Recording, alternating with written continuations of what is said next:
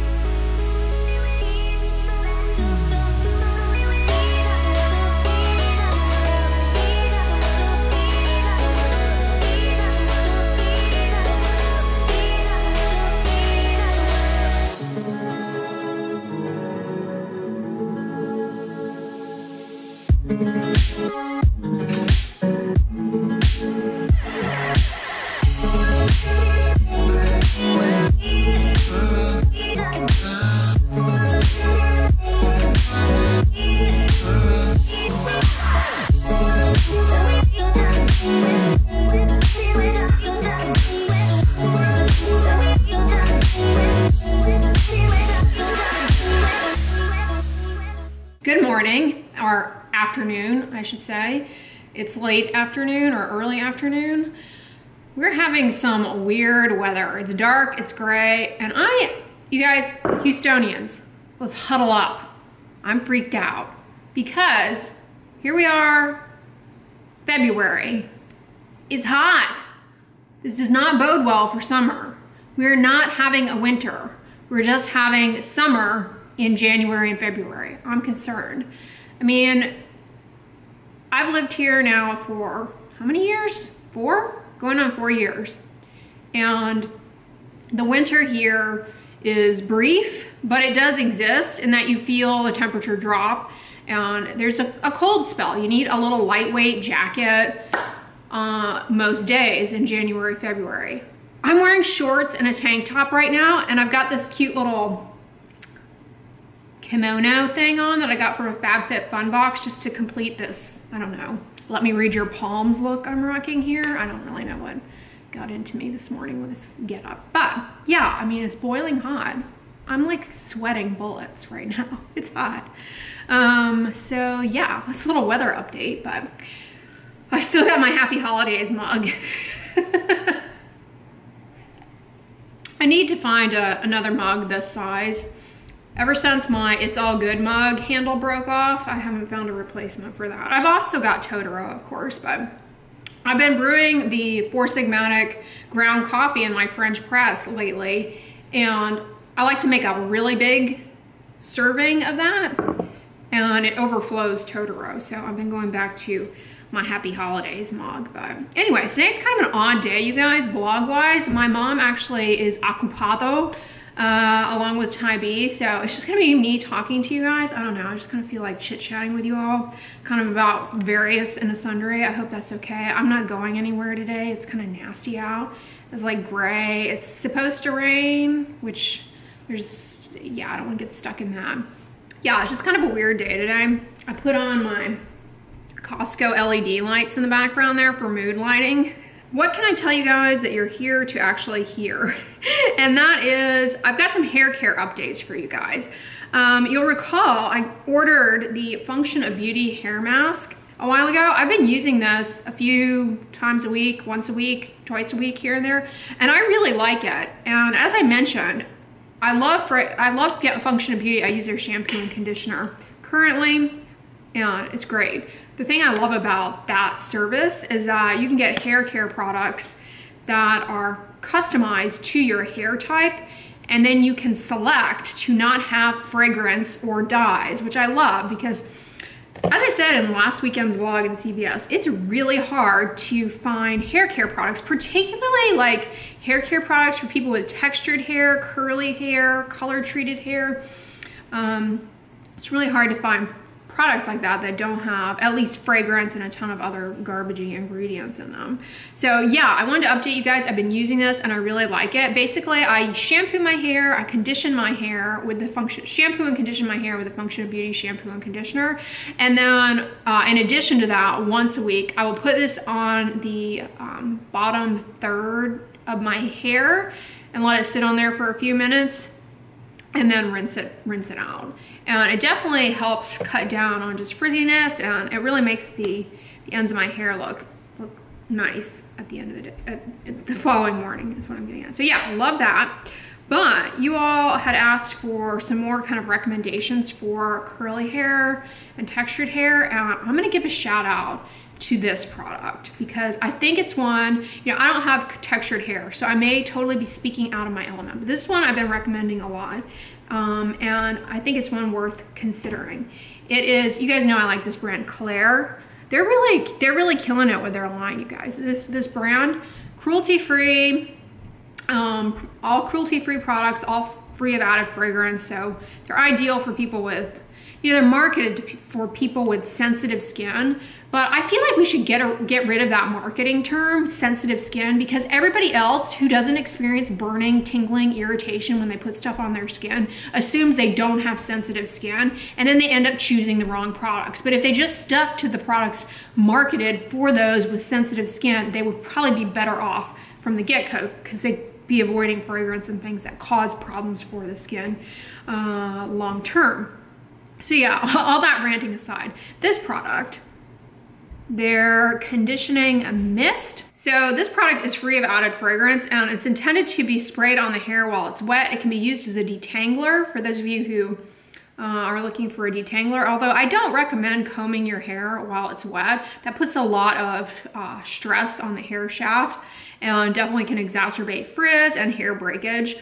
Um, but you know, my hair, I, I don't comb it with sweat. I just let it air dry. And then the following morning, my hair, because of the texture of it, has de auto detangled and I don't have like like tangles. But some hair types, that's not gonna be the case. And you like to use products like this, like a leave-on conditioner or a detangler. So it's it works great for that. Um, but, and also it can just kind of help keep your curls smooth if you have curly hair. The first ingredient is water and the second ingredient is glycerin. I don't think I've spent enough time emphasizing to you guys how wonderful glycerin is for hair shaft care and for the hair. Um, you know, I've talked about a lot of different oils because there's a lot of enthusiasm from you guys about different oils for the hair like jojoba oil and coconut oil and I've talked about how those oils can help in reducing hygral fatigue but believe it or not glycerin a humectant is actually really good for the hair shaft this brand also has you know some of my favorite fragrance free shampoos and conditioners obviously I love the function beauty one that's the one I'm using but I always recommend the Vanicream one because there's just so few fragrance-free shampoos and conditioners. Vanicream makes one, and then the Whole Foods, let me get another sip of coffee.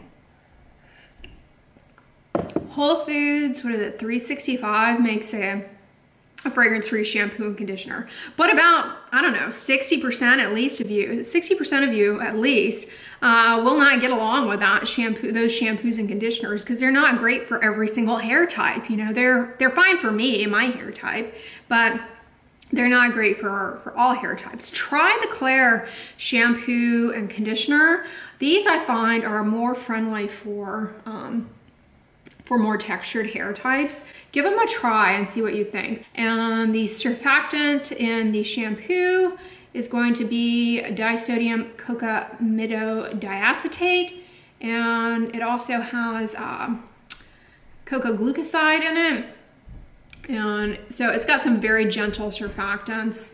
No sodium lauryl sulfate. Sodium lauryl sulfate can be very drying, not only for the scalp, but also for the hair shaft. I mean, it's not a demon ingredient or anything. I've got a video talking about sulfates. But yeah, this doesn't have sulfates in it if you find that some of those sulfate uh, surfactants are too irritating for your scalp or drying to your hair shaft. Uh, yeah, I recommend these. They're pretty good. Uh, free of added, I keep saying free of added fragrance, but duh, goes without saying. But speaking of fragrance, you guys know in my, another sip here, happy holidays in my um, last FabFitFun box, I got a shampoo and conditioner called Television, I think is what it was called, by this R & Co. I've tried it out a number of times. Not something I would recommend because, all right, here's the deal. I tell you guys to avoid fragrance, but those of you who know me know I like a little bit of fragrance. I say a little bit, like like a little bit pregnant, whatever. I mean, it's either there or it's not. I like to use shampoos and conditioners that smell good. So, uh, that's, you know, that's my vice. Um, and so I use shampoos and conditioners that have fragrance, even though I tell you guys, do your best to try and just choose those that don't. Anyways, so I have tried out the R & Co television shampoo and conditioner, and the fragrance on that, I can't quite decide how I feel about it. Um, because while I'm shampooing my hair with it, I feel as though they're like I'm in a casino. I don't know like where I'm getting this sensation from. And not like a, you know, there are different kind of types of casino. I mean, I don't frequent the casinos, let's be honest, but I have been to Las Vegas a number of times. I think I've been in pretty much every single casino in Las Vegas. And if you've ever been to Las Vegas, I mean, you know, some casinos, you know, some of the hotel casinos are bougier than others. And so I feel like I'm in a one of the bougier ones. And by bougie, I mean, I guess I would say like the Wynn is one of the bougier ones. I know, I haven't been in several years. But uh, yeah, I kind of get that feel like I'm in one of those nicer Las Vegas hotel casinos. You know how they diffuse stuff in the air to like distract you from the fact that you're just throwing money away. I don't gamble, which is why I'm not really into casinos, but yeah, Vegas, anyway, Vegas is a fun time, regardless if you gamble or not. It can be an enjoyable time in, in small doses. I digress. So yeah, shampoo, while I'm shampooing and conditioning with it, I feel like I'm in Las Vegas, in a Las Vegas casino. A nice one.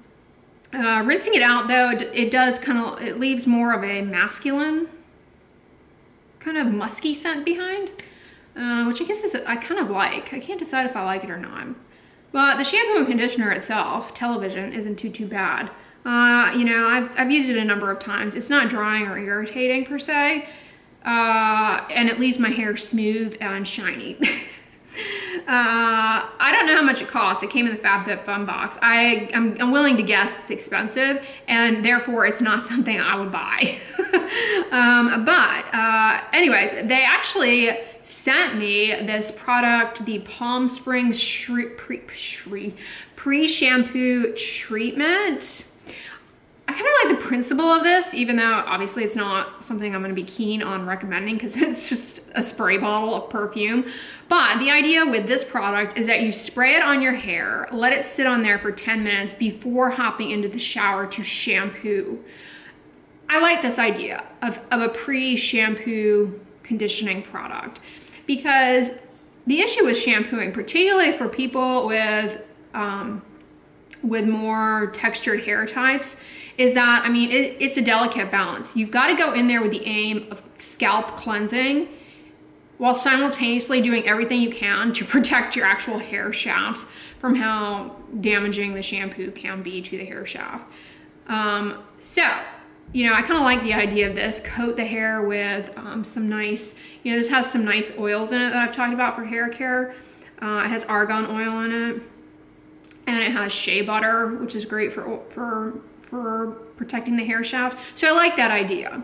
But do you need a product necessarily like this that's packed with a lot of perfume? No. I think a better way to use this idea is to just put some argan oil or shea butter on your actual hair shafts, let it sit on there, and then hop in the shampoo for, hop in the shampoo, hop in the shower to, to shampoo your scalp. I think that is a much better better way to to approach doing something like this. Or you know maybe you could use glycerin. I haven't ever actually tried that myself so i can't tell you much about the logistics of applying glycerin to the hair but i do know uh, that it works well. In fact um, i was listening to um, a talk by some of my colleagues in who see a lot of uh, hair disorders and they were saying how glycerin is an ingredient that is underutilized in kind of hair care and under under promoted. So that's kind of why I'm on this glycerin kick for hair. But I've never used it myself.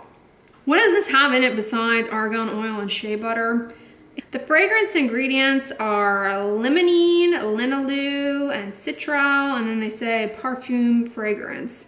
So yeah, those are the obvious fragrance ingredients. Babassu seed oil. I couldn't tell you anything about babassu, but that's in here. Uh, yeah, and then, you know, obviously from an environmental perspective, I don't really think that these aerosolized sprays, you know, to me it seems like we should try and minimize the number of these types of things that we buy and use for the sake of the environment. Uh, so I think the argan oil minimal approach is better, but comment below on if you guys do something like that. So yeah, those are some hair care products that I got.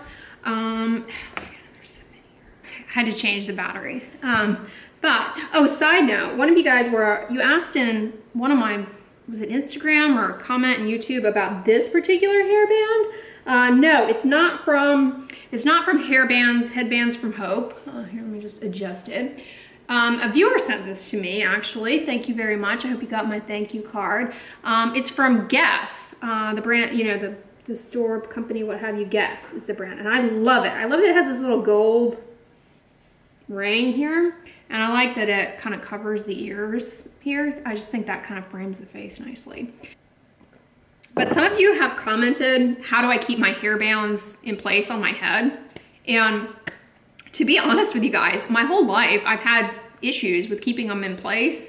Oh, it's so hard being me. I have to keep my hair bands in place. But anyways, they do pop off of my head and I just end up readjusting them. But now that I've been wearing them more, I don't know. I feel like if I keep them a little on my ears, they'll stay in place a little better. But to be honest, they do do that creeping thing where all of a sudden the hairband's like up here and you have no idea and you're like, it looks like you're wearing some weird, weird hat for, um, for working in a fast food restaurant, like one of those little paper triangle type hats. I used to work in a fast food establishment that required me to wear a visor actually that was so odd. I mean, you know how I'm all about sun protection and whatnot, but this visor was hideous. And I mean, I was indoors and there were no windows, so I didn't need to be as on the sun protection. But yeah, uh, side note, I used to work at Wendy's when I was in high school. So yeah, I could tell you some stories about that, which I think you might find entertaining. Wendy's, yeah. I always tell people about their chili, like how, you know, I, I would just randomly comment about to people people ask me like what's it like working there? And like you know and so i would tell them a little bit about the chili and it always blew my mind that people were so disgusted and taken aback by how wendy's makes their chili. Because at the time and now even now at the time i was like you mean that disgusts you? But the fact that oh i could go on and on about the things the things. At least back back when i worked there i mean i wouldn't say you know, what as far as eating there now, I haven't eaten at a Wendy's in a long time. The only vegan option they have, which actually is one of their best uh, menu items, and I definitely recommend, is their baked potato. Get, their baked potatoes somehow are better than any like any restaurant baked potato I've ever had. I don't know what it is, and I work there. I can't, you know, I can't recall anything specific about how they bake the potatoes, but they are really good. So yeah, aside from that, I mean, I mean, there's no, I have no incentive to go into a Wendy's anymore. Um, but my former employer, I mean, I could tell you some stories about about that. It was many, many years ago, though. but it always, I always chuckle to myself because to this day, you will read in forums people like how appalled people are about how Wendy's makes their chili. Um, just Google it if you're not aware. And but if you if you've actually worked there, like you know that's the least offensive thing that that is crafted backstage. Uh, so yeah stick to the baked potato. That that i would i would say you can't i don't know. I wouldn't say you can't go wrong but yeah i worked there in high school. It was a long time ago. And i would say while while the chili preparation is what is what shocks and appalls people. And like you'll read it like on Reddit or like fast food workers reveal the secrets of Wendy's and their disgusting chili. And it's like, oh, it's not even scratching the surface. not even scratching the surface.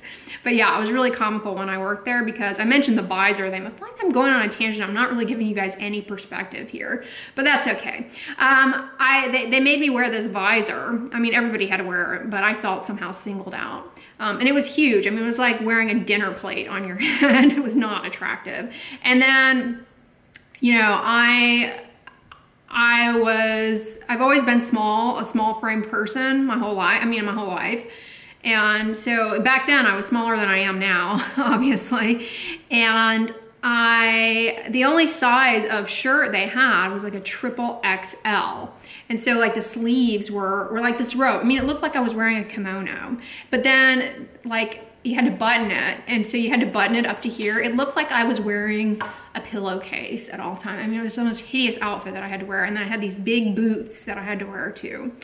Um, but it was, a, you know, they were a nice employer. I mean, they were, I, I can't complain. Like they were, it wasn't a bad place to work for, but I had some funny stories. Anyways, maybe for another day if you guys are Oh, side note, I wanted to comment that I've started using this again. This is the uh, MD, or I shouldn't say again, I'm using it. The MD Solar Science Mineral uh, Beauty Balm, light medium. I like this as a BB cream, but I've been putting it over my sunscreen uh, just for some color correction and added sunscreen. It's a mineral only, water resistant, cruelty free, uh, fragrance free, oil free uh, BB cream that uh, zinc titanium dioxide has like a nice matte finish, but it does go on a little streaky. Anyways, I've been using that. I've had it and I wanna make sure I use that up.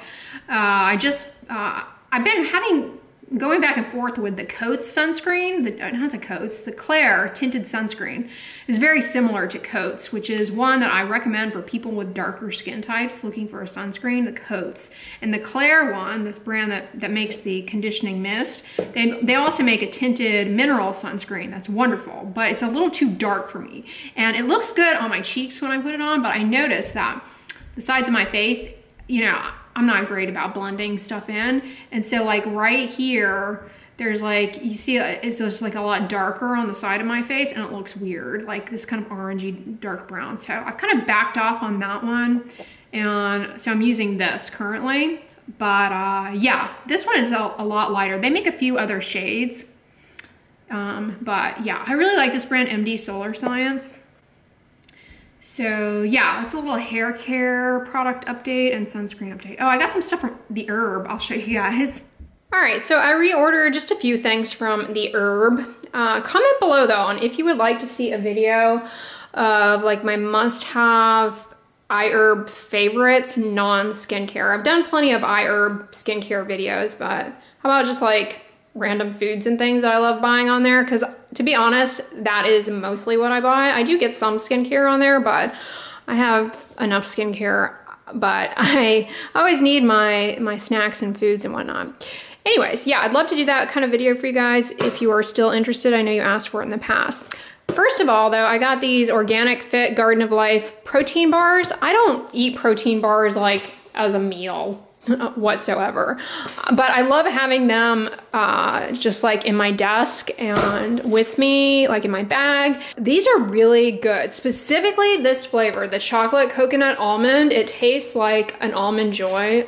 Yeah, they're made with pea protein and they've got almonds in them. They're really good. And they're sweetened with like monk fruit or stevia, I think, maybe a combination of the two. And they only have one gram of sugar and 14 grams of protein and so there's just a nice little snack. I showed the Lakanto brownie mix in my uh, nighttime routine. I ordered some more of it. I make this vegan just by making it with uh, two flax eggs. A flax egg is one tablespoon of ground flax seeds and three tablespoons of water.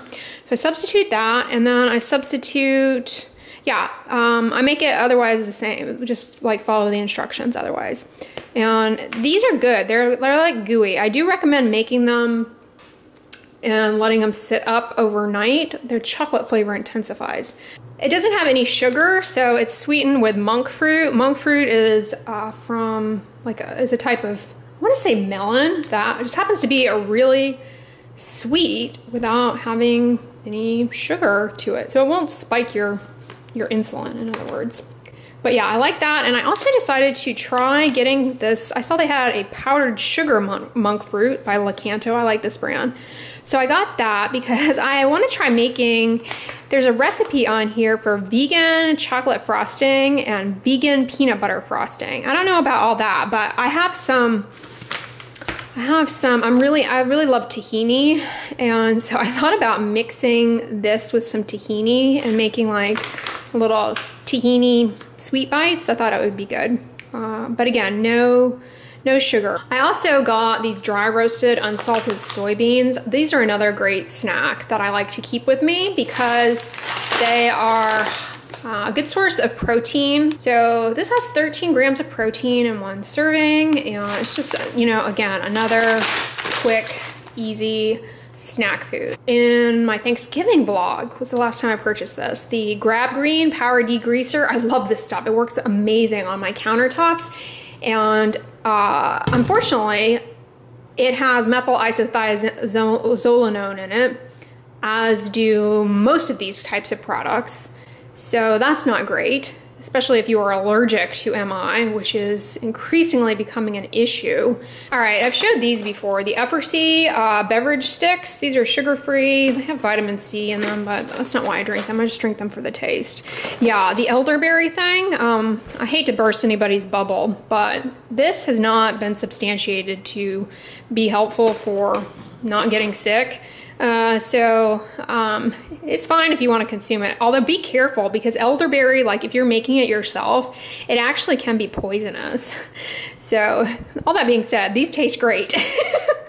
um, and I'm assuming that the elderberry in this is actually just, I think it just tastes like elderberry I think they're just putting that on the box to sell you more of it. But anyways, I also decided to try these Hydration Up electrolyte drink mix flavor whatnot's grape because um, I love those Ultima replenishers. I like to have one after a run, but they're kind of pricey. So I decided to give the California Gold Nutrition ones a whirl. Everything I've tried by California Gold Nutrition has been winning. Um, and I love grape, the grape flavor. Doesn't taste anything like true grapes, let's be honest. But yeah, so I thought I would give that a try. I'll let you guys know how it compares to Ultima. Um, I got some more of my Four Siggy ground mushroom coffee mix. Love this stuff. It's winning in the French press. I love it. Um, I have shown these before, but I got some new flavors. These are the sweet leafed sweet drops. They're stevia flavor drops. I got the English toffee flavor. And I also got the hazelnut flavor. So, you can thank me later for this, but for those of you who like bananas, I know it's a house divided in the comments, banana lovers versus not. If you hate bananas, as a side note, I have a video on banana-free smoothies. But for those of you who love banana, for Team Banana, I strongly recommend making yourself a little banana frappe. You just get um, a frozen banana and some non-dairy milk and put these toffee drops in and it is so good. Banana frappe, very nice sweet treat. Okay, I showed these in my What I Eat in a Day. I'm addicted. the Jungle Peanuts. They taste like, I mentioned they taste like Boston baked beans, uh, which if you've never had those, those are like candied peanuts. They tout themselves as superfoods, which is annoying marketing, but whatever, they're good. Uh, they come from the Amazonian rainforest. I think if anything is derived from the Amazonian rainforest, it automatically gets labeled as a superfood. Like I have a friend from Ecuador and I'm just gonna start calling him a superfood because I feel like anything from Ecuador, they just, they just call a superfood. Anyways. Uh, yeah, these, uh, I mean, they're, they're kind of like peanuts. They taste kind of like peanuts. I mean, they are a type of peanut, I guess. Um, I, I go through this, I can seriously eat this whole bag. uh, but yeah, I, I have a couple of servings of this a day, as you saw in my what I eat in a day video. They're really good. I also like to eat Brazil nuts, although to be honest, they're not my favorite nut, but I do recognize that they're a good source of nutrition. So I actually incorporate a few of these and as a side note, throw a few of these. For those of you who are gonna experiment with the banana frappe, throw a few of these into your banana frappe. It will make it extra creamy and good. Um, you should maybe soak, just soak them for a few minutes, just a couple of them. Um, they're really, they're really good. And then I got some more Bob Bob's Red Mill Adzuki Heritage Beans. I love these. If you've ever had uh, red bean paste, by the way, uh, which is popular in a lot of Asian desserts, uh, it's likely Adzuki beans that they sweeten, um, but I like to just eat them. I cook these in my Cosori pressure cooker. Yeah, I use my Cosori cooker, multi-cooker so much, you guys. I make yogurt in it at least once a week. I make, I do all of my, I cook all of my beans in there. Um, cooking cooking beans from dry is so fast once you have a pressure cooker so I use it for that and then I use the slow cooker function pretty much on a nightly basis for dinner uh, the only thing I don't use actually I take that back the steam the steam veggie setting I've been using more lately I don't use it that often because if you actually use it to steam veggies they come out kind of mushy. They come out super mushy, not kind of mushy, super mushy. But I've been using it to make my platanos. I don't have my light on in here, so I'll probably look awful um, in this lighting. But yeah, that's everything that I got from iHerb. Uh, yeah, I use my Cosori multi-cooker to make platanos. So yeah, that's a little herb haul. Random medley of stuff in today's pseudo vlog. I didn't go anywhere or really do anything. I just talked at you. So thank you for listening to me today.